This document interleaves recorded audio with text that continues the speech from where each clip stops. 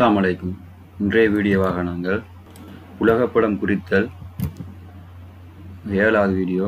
நிறைய மாணவர்கள் இந்த உலகப்பட வீடியோவை கேட்டிருந்தார்கள். அடுத்த வீடியோ எப்போ போடுவீங்கன்னு அதனால் மற்றும் ஒரு வீடியோ நான் செய்துள்ளேன். உங்களுக்கு பிரயோசனம் இருக்கும்னு நினைக்கின்றேன். இது ஏழாவது வீடியோ. இதையும் நீங்கள் உங்களோட ஒரு உலகப்படத்தில் குறித்து பயனடையுமாறு நான் கேட்டுக்கொள்கின்றேன்.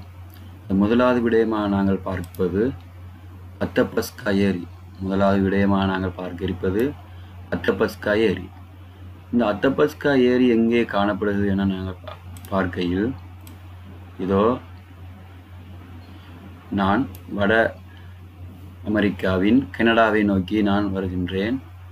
இதோ பகுதியில் தான் வந்து அத்தப்பஸ்கா ஏரி காணப்படுகிறது. இதோ காட்டுகின்ற இதுதான் அத்தப்பஸ்கா ஏரியாக உள்ளது. இதோ லேக் அத்தபஸ்கா. இப்போ இந்த ஏரி வந்து மிகப்பெரிய ஏரியில் ஒரு ஏரியாக காணப்படுகிறது.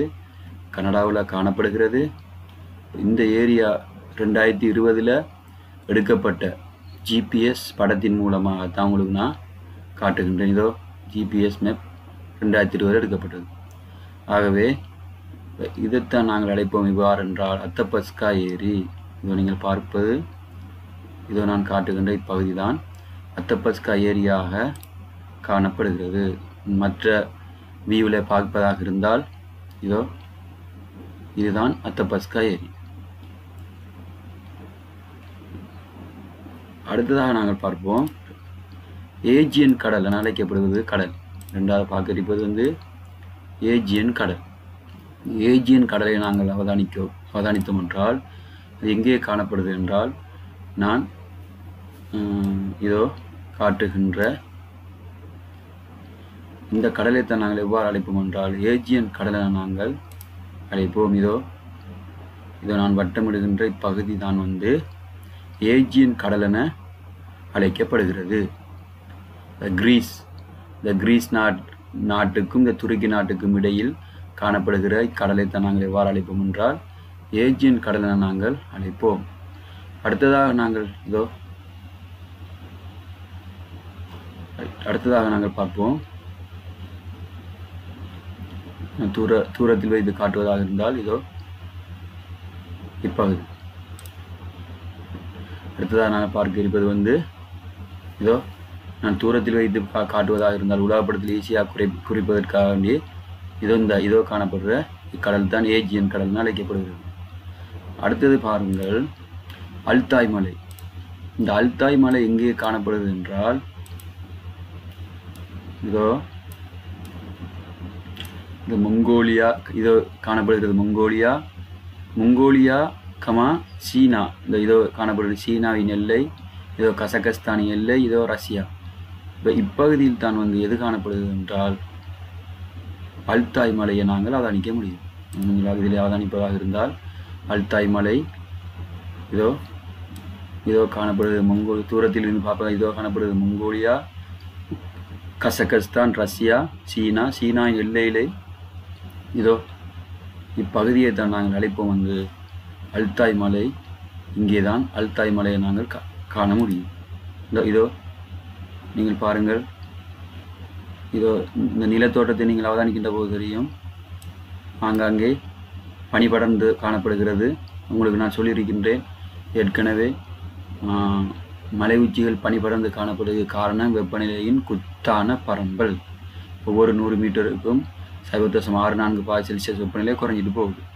இதோ இதைத்தான் நாங்கள் அடைவு பண்ணது வட்டமிடுகின்ற இப்பகுதியை தான் நான் தூரத்தில் வைத்து காட்டுவதாக இருந்தால் இதோ இதில் தான்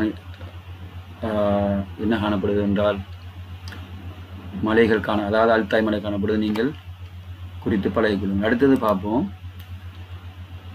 சகலின் தீவு என அழைக்கப்படுகின்ற தீவு. சகலின் தீவு என அழைக்கப்படுகிற தீவு. இந்த சகலின் தீவை நீங்கள் பார்த்தீர்கள் என்றால் எங்கே காணப்படுது என்றால் இதோ உங்களுக்கு தெரியும் இதோ இந்த இது- நான் வட்டமிடுகின்ற இப்பகுதி வந்து ஜப்பான். ஜப்பானுக்கு மேலே காணப்படுகின்ற இதோ இந்த தீவைத்தான் நாங்கள் அழைப்போம். வந்து சகலின் தீவென நாங்கள் அழைக்க முடியும். இதோ இப்பகுதி. நான் காட்டுகின்ற இப்பகுதி தான் சகலின் தீவென அழைக்கப்படுகிறது. நன்றாக குறித்து பழக வேண்டும். இதோ இந்த இந்த நிலப்பரப்பை இந்த தீவைத்தை நாங்கள் அழைப்போம் என்றால் சகலின் தீவென நாங்கள் அழைக்க முடியும். அடுத்ததாக பார்ப்போம். நான்காவது பிரம்மபுத்திரா ஆறு. இந்த ஆறை பற்றி நான் சொல்வதாக இருந்தால் இது அதாவது ஒரு மூணு நாட்களுக்கு முன் மூணு நாட்கள் என்றால் இந்த இருபத்தி ஏழாம் தேதி என்றால் இருபத்தேழு அல்ல இருபத்தாறாம் தேதி என்றால் ஒரு ரெண்டு நாட்களுக்கு முன் இருப இருபத்தி நாலு நினைக்கிறேன் இருபத்தி நாலு அல்லது இருபத்தைந்தாம் தேதியானது. இங்கே இந்த ஆ- ஆறானது வெள்ளப்பெருக்குக்கு உள்ளாக்கப்பட்டுள்ளது. அந்த ஆறை நீங்கள் பார்ப்பதாக இருந்தால் இந்த ஆறு பாரியளவு வெள்ளப்பெருக்கு உள்ளாக்கப்பட்டு பல நூற்றுக்கணக்கான மக்கள் இடம்பெயர்ந்தும் பல பேர் கொல்லப்பட்டுள்ளார்கள் இந்த ஏற்பட்ட வெள்ளப்பெருக்கின் போது மலைவீழ்ச்சியின் போது ஏற்பட்ட இடிமின்னல் காரணமாக எண்பத்தி மூணு பேர் கொல்லப்பட்டுள்ளார்கள். இது ஒரு மூணு நாட்களுக்கு முன்னர் ஏற்பட்ட ஒரு அனர்த்தமாக காணப்படுகிறது. இந்த பிரம்மபுத்திரா ஆறு. இந்த பிரம்மபுத்திரா ஆறு எங்கே காணப்படுது என்றால் இதோ நான் காட்டுகின்ற இதோ இதோ பகுதியில் உற்பத்தியாகி இமயமலை இமயமலை போன்ற பகுதி உற்பத்தியாகி அந்த ஆறானது ஓடி வந்து அஸ்ஸாம் மேகாலயா பங்களாதேஷ் டாக்கா இந்த பகுதியில் விழுகின்றது. இது அதிகமாக உலகில் அதிகமாக வெள்ளப்பெருக்கு ஏற்படுகின்ற ஒரு பகுதியாகவும் காணப்படுகிறது. ஏனெனில் இந்த பிரம்மபுத்திர ஆறானது அடிக்கடி வழிந்தோடி வெள்ளப்பெருக்கு ஏற்படுகிறது. இது அண்மையில் ஒரு மூணு மூணு நாட்களுக்கு முன்னர் தற்போதும் பாரிய வெள்ள ஏற்படுத்தியுள்ளது. பல பேர் காணவில்லை பல பேர் கொல்லப்பட்டுள்ளார்கள். அதேபோல் இங்கே ஏற்பட்ட மழை வீழ்ச்சியின் போது ஏற்பட்ட இடிமின்னல் காரணமாக எண்பத்தி மூணு பேர் கொல்லப்பட்டுள்ளார்கள். இதை நீங்கள் அனர்த்தத்தின் ஒரு உதாரணமாக நீங்கள் எடுத்துக்கொள்ள முடியும். இதோ பிரம்மபுத்திரா. அடுத்ததாக நாங்கள் பார்ப்போம் ஆர்க்டிக் வட்டம். ஏதோ ஒரு கிரீன்விச் கோடு சர்வதேச திகதி கோடு மத்திய கோடு ஆர்க்டிக் வட்டம் கடக கோடு மகர கோடு இது ஏதோ ஒரு கோடு உங்களுக்கு வர வரும். இப்போ ஆர்க்டிக் வட்டத்தை நீங்கள் சரியாக குறிப்பதாக இருந்தால் இதோ எவ்வாறு என்றால் இதோ காண ஐஸ்லாந்து இருக்குத்தானே ஐஸ்லாந்துக்கு ஊடாக நேராக நீங்கள் அந்த கோட்டினை வரைந்தீர்கள் என்றால் இது என்ன செய்யும் என்றால் உங்களுக்கு போதும். ஆர்க்டிக் வட்டம் எவ்வாறு காணப்படும் என்றால் உலகப்படத்தில் இந்த ஐஸ்லாந்து ஃபுட்ரூலை நீங்கள் வைத்து இந்த ஐஸ்லாந்துக்கு ஊடாக அதனை நீங்கள் வரைந்திருந்த இதோ நான் காட்டுகின்ற இப்பகுதிக்கூடாக நேரா நேராக வரைந்தீர்கள் என்றால் அதை நாங்கள் எவ்வாறு அழைப்போம் என்றால் அதுதான் ஆர்க்டிக் வட்டம் என அழைப்போம். இதோ இந்த கோடு எவ்வாறு வரும் என்றால் இதை நான் காட்டுகின்ற இப்பகுதி கூடாக அப்படியே ஊடறுத்து செல்லும். ஐஸ்லாந்தின் இந்த கீழ்ப்பகுதி கூடாக அப்படி ஊடறுத்து செல்லும். அதை நீங்கள் இதனை பார்ப்பதாக இருந்தால்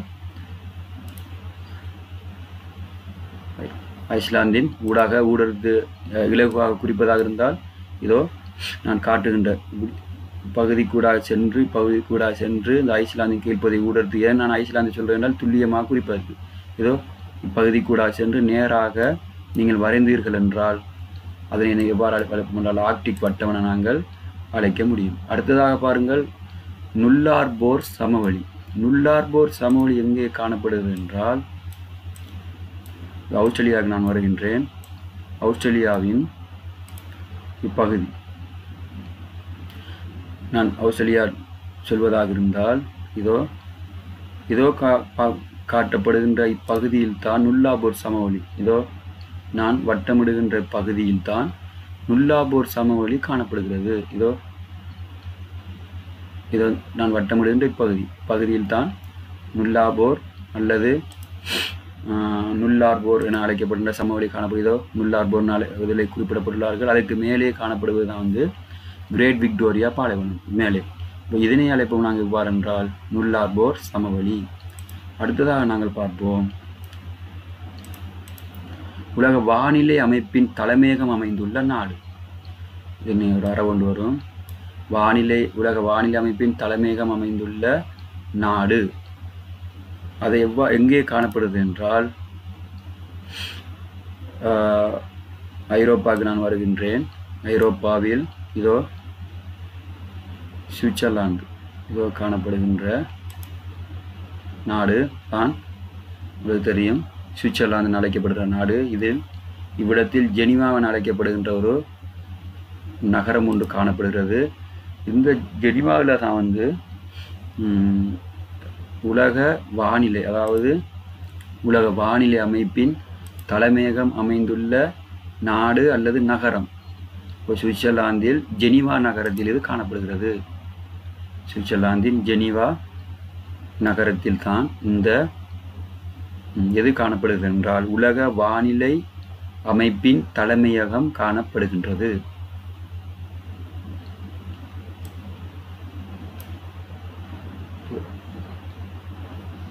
இருக்கிறதோ இப்பகுதி ஜெனிவாவின் இப்பகுதியில் தான் த எது காணப்படுகிறது என்றால் உலக வானிலை அமைப்பின் தலைமையகம். இதை நீங்கள் பாருங்கள் இது முட்டு முழுதாக சுவிட்சர்லாந்தில் வரும்.